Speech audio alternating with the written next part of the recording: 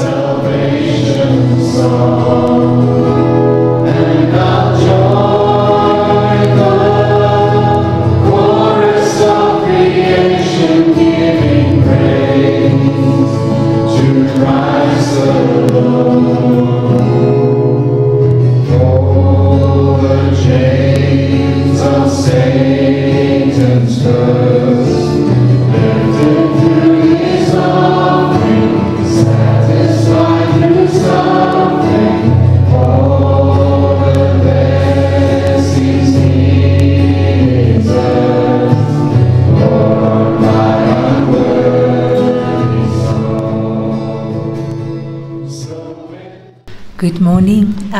is from Philippians 2, from verse 1 to 11. So, if there's any encouragement in Christ, any comfort from love, any participation in the Spirit, any affection and sympathy, complete my joy by being of the same mind, having the same love, being in full accord and of one mind. Do nothing from rivalry or conceit, but in humility count others more significant than yourselves. Let each of you look not only to his own interests, but also to the interests of others. Have this mind among yourselves, which is yours in Christ Jesus, who, though he was in the form of God, did not count equality with God a thing to be grasped, but made himself nothing, taking the form of a servant being born in the likeness of men. And being found in human form, he humbled himself by becoming obedient to the point of death, even death on a cross. Therefore, God has highly exalted him and bestowed on him the name that is above every name, so that at the name of Jesus every knee should bow, in heaven and on earth and under the earth and every tongue confess that Jesus Christ is Lord to the glory of God the Father. This is the word of the Lord.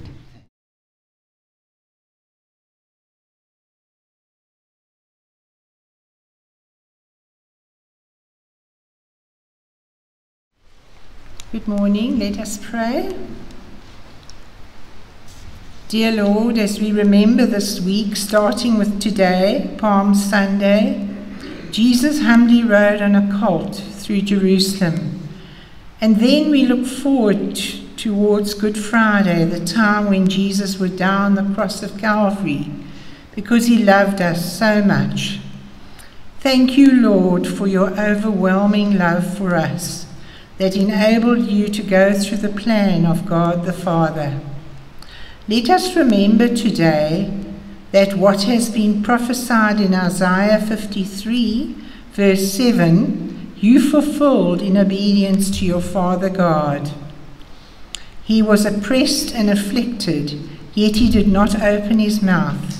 He was led like a lamb to the slaughter, and as a sheep before her shearers is silent, so he did not open his mouth. It was fulfilled by Christ in Mark 15, verse 5. But Jesus still made no reply, and Pilate was amazed. Lord God, Heavenly Father, in your fatherly grace you did not spare your only Son, but gave him up to death on the cross. Pour your Holy Spirit into our hearts, that we may find our highest comfort in your grace Protect us from temptations to sin more, and help us patiently bear whatever hardships may come, so that through him we may have eternal life. Father God, thank you that Jesus came humbly, riding on a donkey, proclaiming peace. We pray for the peace of Jerusalem and peace in our times. Make us instruments of your peace and guide us in the ministry of reconciliation. Our hearts bring loved ones to mind who have yet to acknowledge Jesus' sacrifice on the cross for their sins. May they find peace in you as we have. In Jesus' name, amen.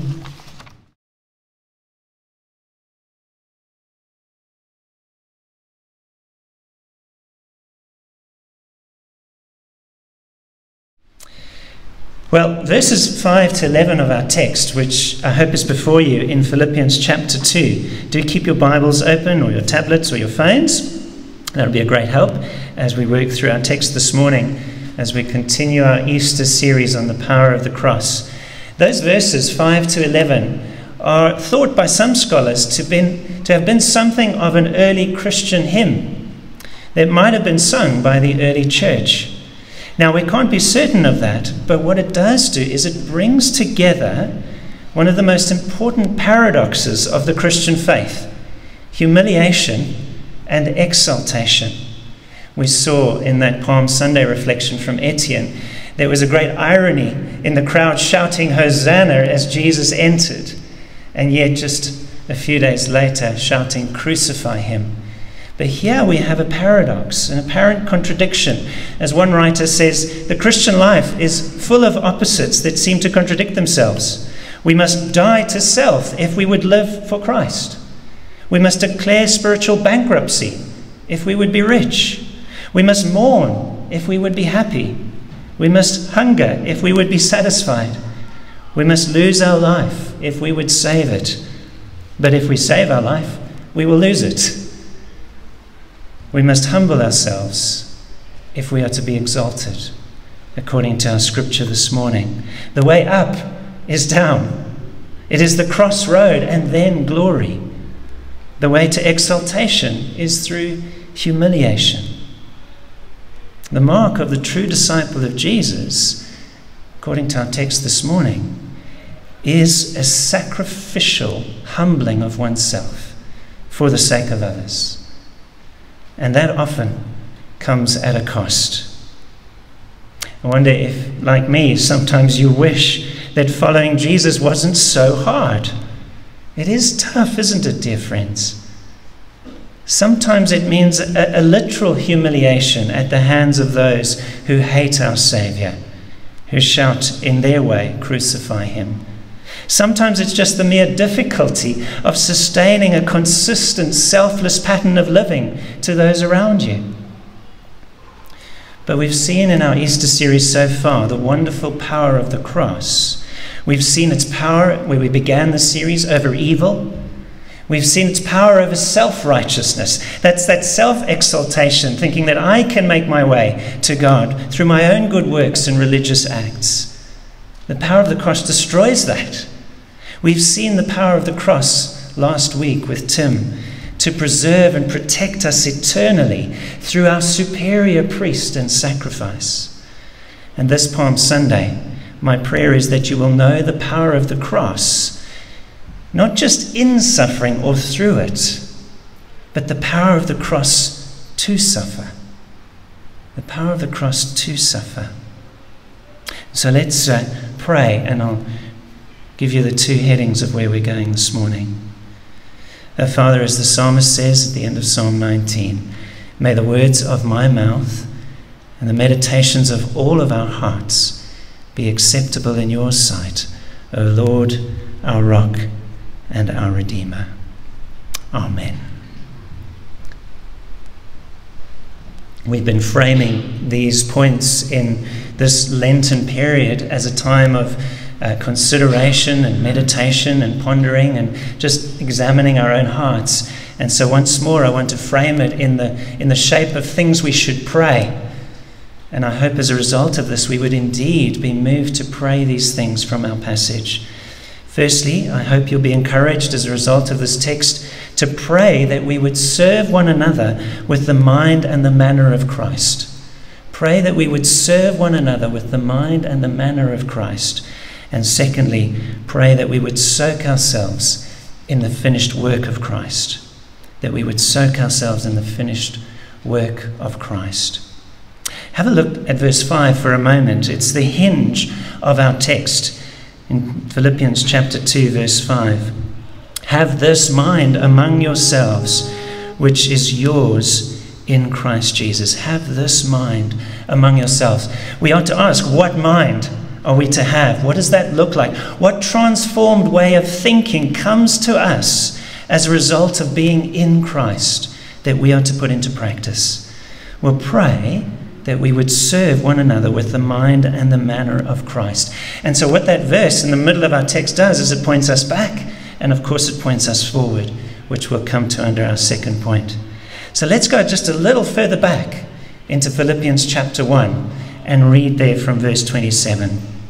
And we'll read into chapter 2 again. Paul says in Philippians 1:27, "Only let your manner of life be worthy of the gospel of Christ, so that whether I come and see you or am absent, I may hear of you that you are standing firm in one spirit, with one mind, striving side by side for the faith of the gospel, and not frightened in anything by your opponents." This is a clear sign to them of their destruction, but of your salvation and that from God. For it has been granted to you that for the sake of Christ you should not only believe in him, but also suffer for his sake. Engaged in the same conflict that you saw I had, and now hear that I still have. So, if there is any encouragement in Christ, any comfort from his love, any participation, thank you. Thought it might be causing interference. It's always unnerving when somebody sneaks up behind you. any participation in the Spirit, any affection and sympathy, verse 2 complete my joy by being of the same mind, having the same love, being in full accord of one mind. Do nothing from selfish ambition or conceit, but in humility count others more significant than yourselves. Let each of you not look only to the interests to his own interests, but also to the interests of others. Have this mind among yourselves.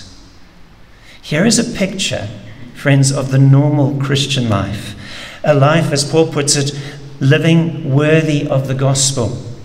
In fact, literally, those verses say that you would be citizens of a word, be living worthily as worthy citizens of the gospel. I read this story this past week online of a British couple that thought they had won 205 million euros in a lottery. Now, just imagine if that was you. If you thought that was happening and the payout was to come soon, what would you be doing? Well, your whole life, I reckon, would start to be planned differently. You would imagine what could be, what you could get, what, what debts you might repay, what things you might change, what houses you might buy, whatever it is, what holiday you could go on. You would start planning a whole different life, wouldn't you? But in a twist of fate that seems straight out of Hollywood drama, this British couple experienced the ultimate roller coaster of emotions, going from believing they had won a life changing 205 million euros to the stark realization that they would never see a penny of it. Imagine coming to that point the crushing blow was delivered when they reached out to the lottery officials to claim their windfall, and they were informed that their ticket was invalid because the automatic purchase through the Euro Millions app had not been processed. The reason? Their bank account was insufficiently funded, and as a result, the payment for the ticket could not go through. What an irony! Imagine. All you'd planned and thought, this new life you could begin, was so different, and now it all comes crashing down. The Philippians might have been tempted because Philippi was a Roman colony, that they had everything they needed because Roman citizenship came with great privilege. It's wonderful. But now, as Paul reminds them, being in Christ, they have more than 205 million euros. They have this great wealth of treasure, this wonder in Him. And because of all He is and all He has done, it's all they need. They don't need the perks of Roman citizenship, whatever that would bring them. They don't need the things of this life in abundance. They have Jesus. And out of that, that citizenship in Christ, in the heavenly places, that new citizenship which they have, they are to live or walk worthily of that. Their bank accounts are not empty. They have been given true wealth, being made citizens of God's kingdom. And their allegiance to Jesus and his kingdom dictates now the shape of their new lives. It is forever changed. But what does that mean? What does that look like? Well, I want you to notice two main things here in this normal Christian life. Firstly, that this Christian life is characterized by opposition. By opposition. One thing is crystal clear in the New Testament, dear friends, is that faithful disciples of Jesus will suffer. They will find rejection as you take your stand for Christ. Don't be surprised by it. Yes, here for a time, until his glorious return, the world will ridicule, humiliate, and seek to bring down Christ's followers. It is to be expected, it is normal.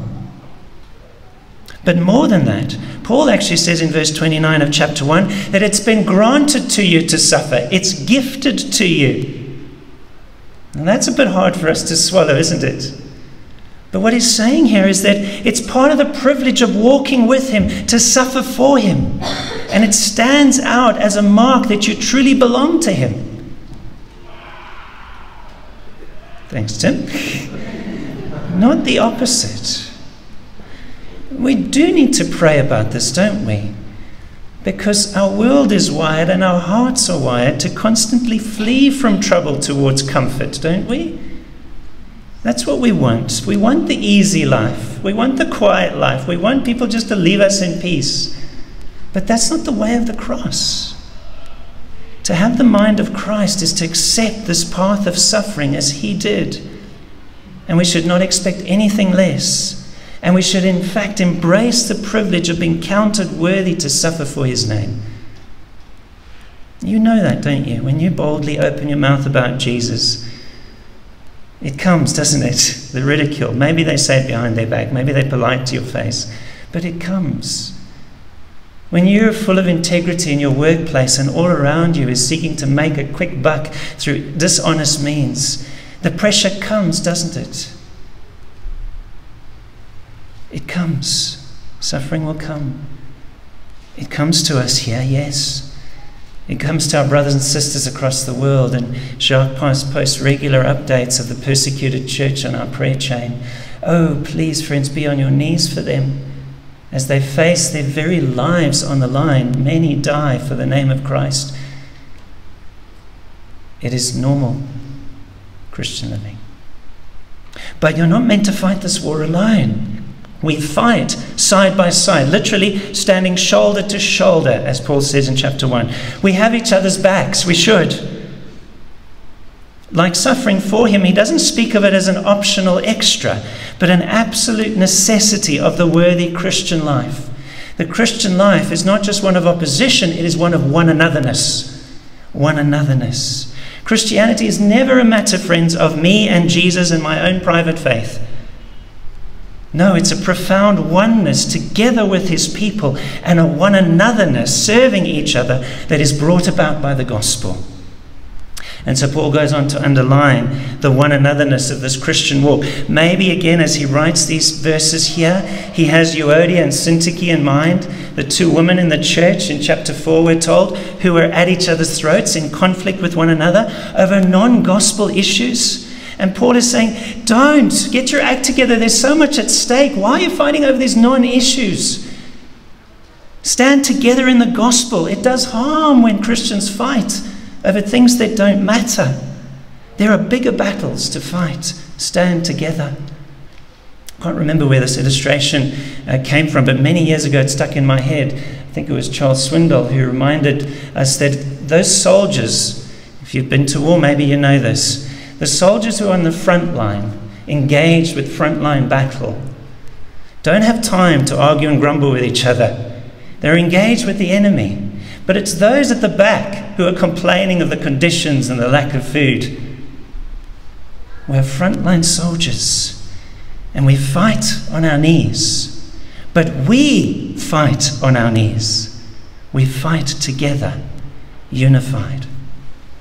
So, what do we need for that fight? What attitude sustains that, that unity and that serving of one another in the midst of this battle? An attitude like Christ's. And in one word, in our text, humility. Humility. Examine your hearts as we go through this, as we look at what this one anotherness is characterized by. And ask yourself is, is that me? Am I, am I just a humble servant of Christ? Have a look again, verse 1.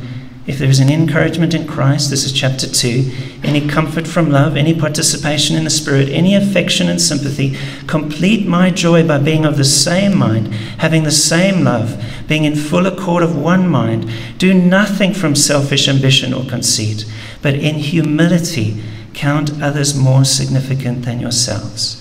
Dear friends, at the heart of healthy church relationships is humility, loving humility. In his excellent little book, The Freedom of Self Forgetfulness, Tim Keller reflects this about C.S. Lewis.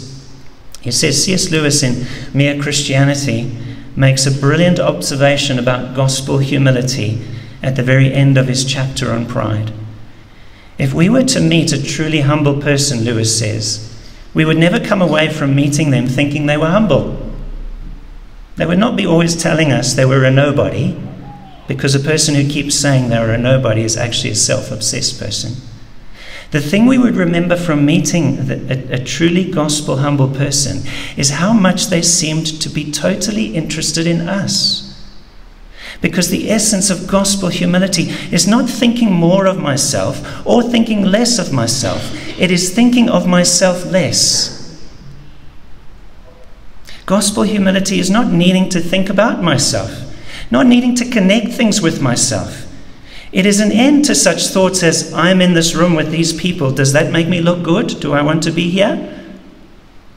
True gospel humility means I stop connecting every experience, every conversation with myself. In fact, I stop thinking about myself.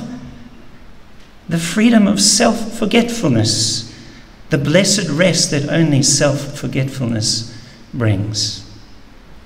You see why we need to pray this?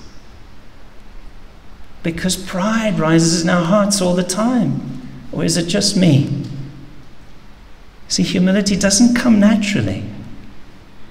Remember the former principal of our George Whitefield College saying this that he reckoned that the greatest enemy to the church as he was preaching in Acts was an independent mindset independence, and perhaps not the answer you would expect. But what's behind that?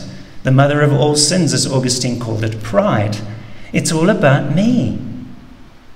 Independence, self sufficiency is a great enemy to the church, to community. And that's why we need to pray, because we're constantly bombarding with worldly thinking that's even in the church. There's such a self centered Christianity in the church, sadly, that it's all about you. We're constantly battered by, you know, this Nemo seagull philosophy. What are the Nemo seagulls saying all the time? Exactly. Comes so naturally. I identify with it. Comes naturally to my children. Mine, mine, mine. And that squeezes the life out of true community. It squeezes the life out of my generosity, my time, my sacrifice, my priorities. And so I really need to pray for the priorities of Jesus. And according to Scripture, not just here, but throughout the New Testament, one of Jesus' priorities is the church. He laid himself on the line for the church. Not for just little individuals here and there, but for community, for you and me. So ask yourself, dear friend, how precious how precious is God's family to you? Do you see yourself as having their back? Do you see yourself as responsible for their very lives? That can't just happen by pitching up once on a Sunday, every now and then. Can it? Now, if we're going to do that with Christ like humility, then our eyes must be constantly set on Him. Our triune God. We said it in the Athanasian Creed, or part of the Athanasian Creed. It's a magnificent creed. Go and read all of it. It'll take you about an hour, but it's wonderful. Our God is in community, in perfect love, in a sense, in Himself. He's created community. He's sprung it to being through His Son. But if we are going to do this with Christ like humility, if we're going to fight this battle of the cross through suffering and pain and struggle, then our eyes need to be constantly set on Him. So pray, secondly and lastly, that we would soak ourselves in the finished work of Christ. It's there, hinted at already in verse 1. So if there is any encouragement in Christ, any comfort from His love, any participation in the Spirit, any affection and sympathy, complete my joy.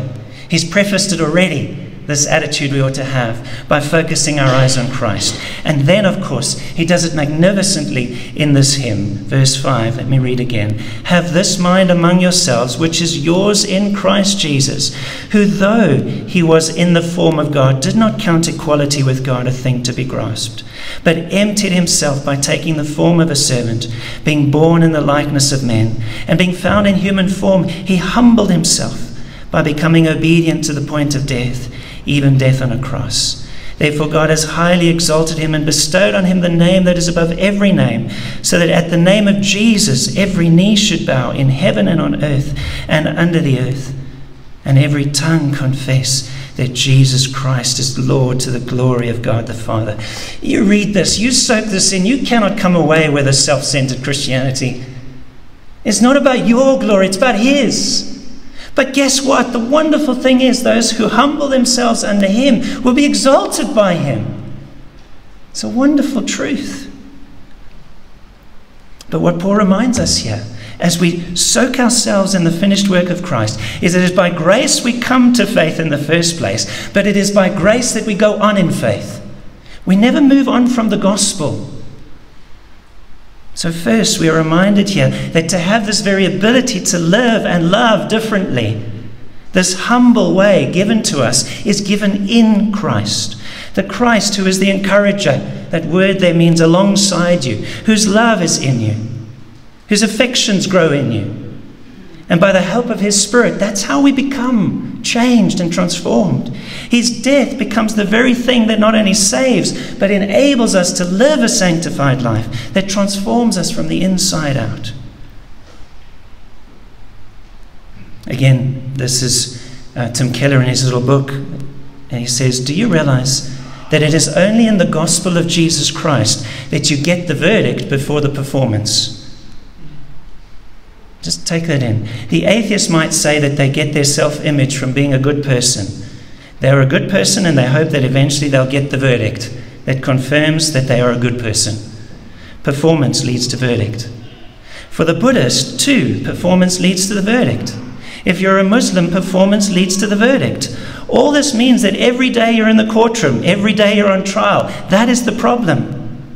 But Paul is saying that in Christianity, the verdict leads to the performance. You see, the verdict is in.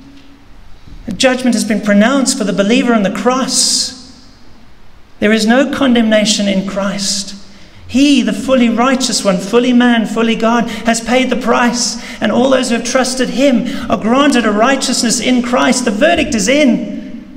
You're made clean, you're forgiven. The judge has ruled not guilty. The verdict is in. And the result of that is a response of faith and obedience. You see, the verdict is in. And now I perform on the basis of the verdict because He loves me and accepts me. I do not have to do things just to build up my resume. I do not have to do things to make me look good. I can do things for the joy of doing them. I can help people to help people, not so that I can feel better about myself, not so I can fill up the emptiness, but just because He has loved me so wondrously. That phrase in the song just keeps coming back to me, one of Roxy and I's favourite songs by 10th Avenue North, called The Struggle. Hallelujah. We are free to struggle. We're not struggling to be free. It's good news, isn't it? And we live from approval, not for approval. From the approval of God and His Son who delights in his children and will never stop delighting in them, sinners though we are. So just take in again the remarkable humility of Christ our Saviour in these verses. It's a magnificent mystery. In verses 6 and 7, when it talks about he did not consider equality with God a thing to be grasped, It expresses this truth. He did not use his equality with God as something to be used for his own gain, or to use one tr- translation, to be deployed for his own advantage. Instead, he used his Godhead for the advantage of mankind, for you and me. That phrase, he emptied himself, underlines that again. It doesn't mean he emptied himself of something. He didn't empty himself of his deity, his godness. It means something like this He gave up his rights to become a nobody, to become a slave. A slave had no rights, and he became one for you and for me. It's astonishing. We are not used to power being used that way. We're used to it being used just the opposite for selfish gain, that we can barely comprehend what Christ has done.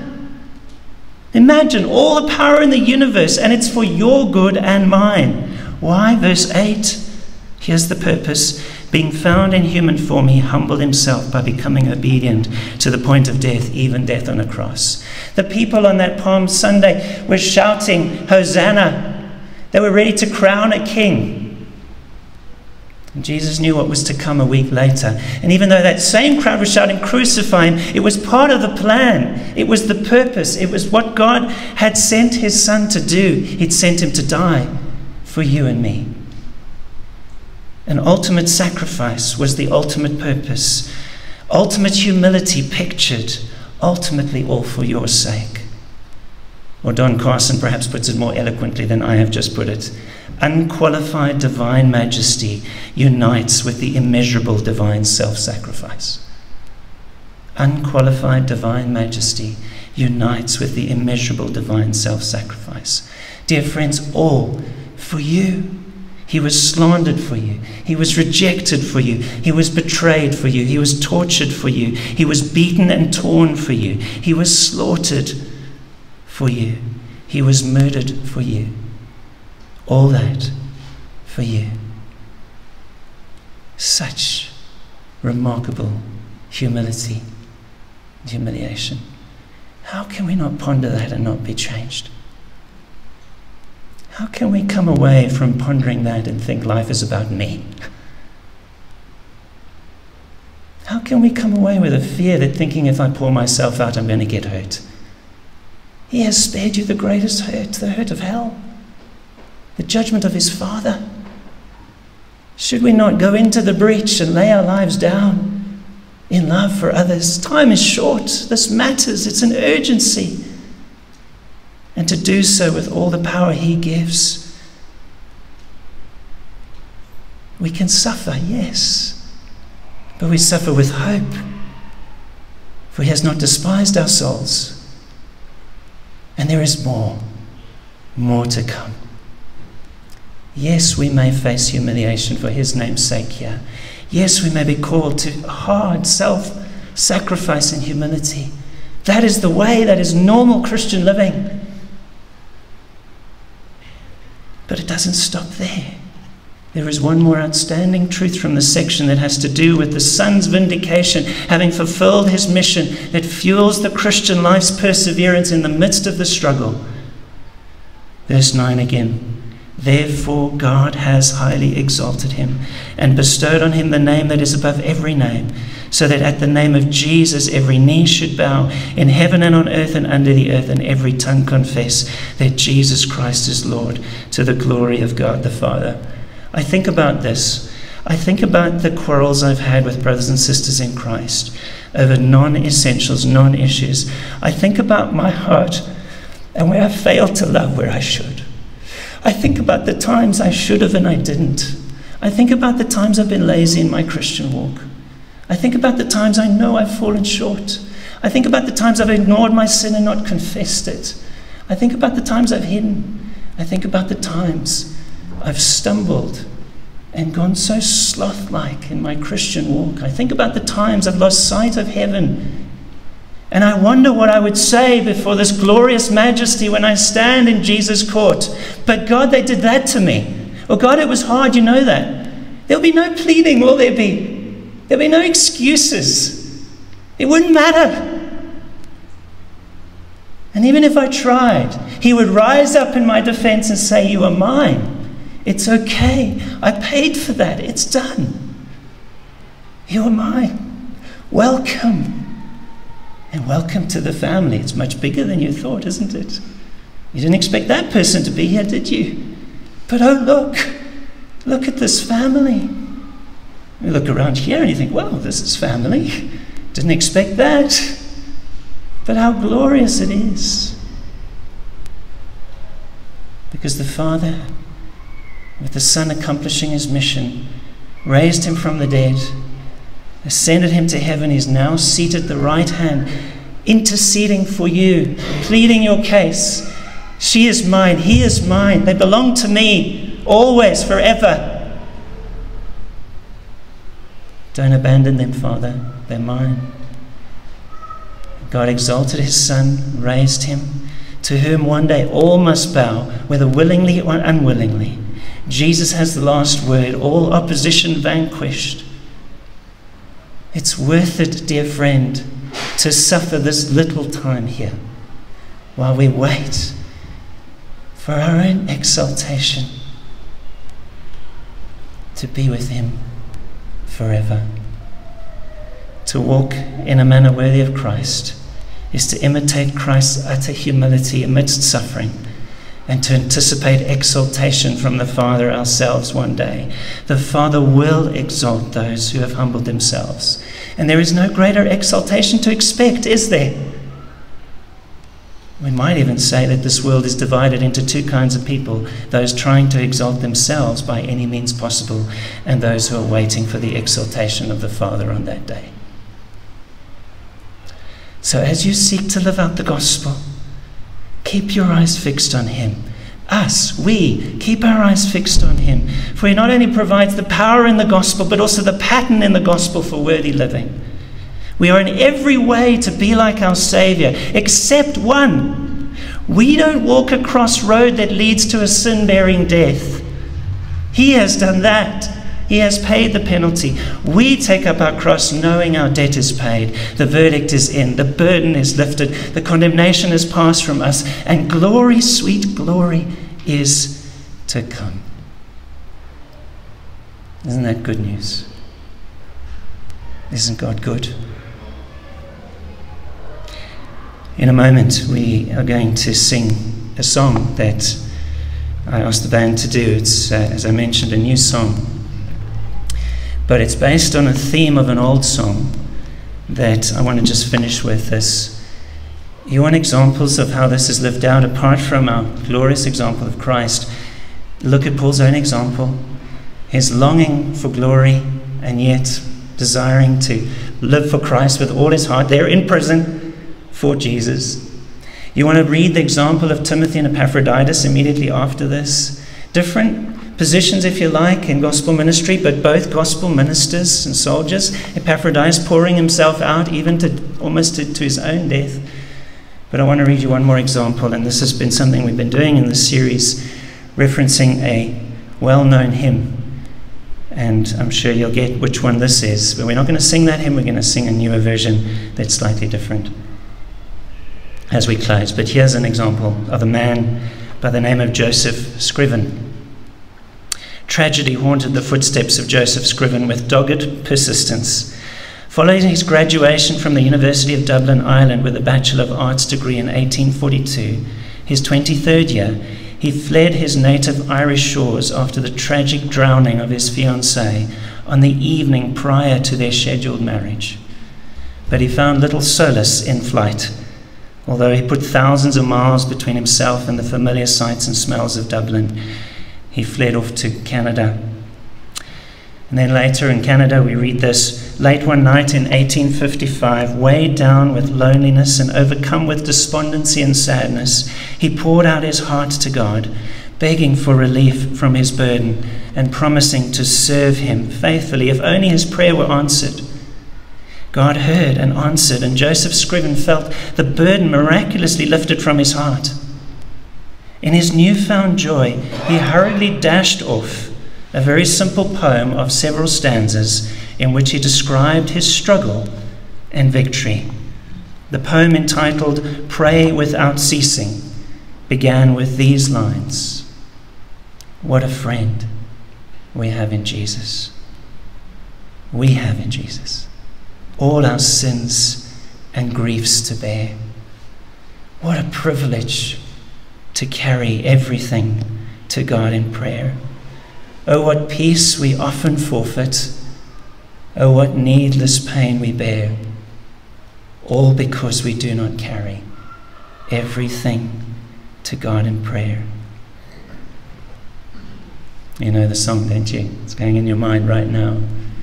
It comes out of great struggle and suffering. It doesn't end there. Falling in love for the second time, he became engaged to Miss Eliza Catherine Roche, only daughter of Lieutenant Andrew Roche of the Royal Navy. However, she contracted tuberculosis and died in 1860 before their wedding could take place. A second time. But following such tragic blows, he gave himself all the more diligently to religious and philanthropic work.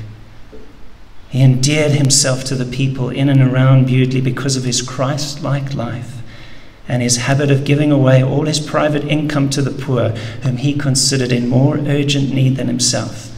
In later years, he was, was described as a man of short stature with iron grey hair, close cropped beard, and light blue eyes that sparkled when he talked. Someone else said he had the face of an angel, while another who knew him well spoke of his habit of preaching to everyone about the love of Jesus, as well as the peculiarities that marked his declining years. In the midst of great suffering, he was enabled by Christ, even through that suffering, because of the power of the cross, of his friend, Jesus, to keep shining through those blue eyes the love of Jesus. Will we do the same? Especially this Easter time. Will you join me as we sing? Let's ask the band to come up and we'll sing together that new song. I have a friend, a faithful friend. And then we will pray the collect for Palm Sunday at the end of our service together, which sets the theme and has set the theme for our Easter series. Let's stand, let's sing.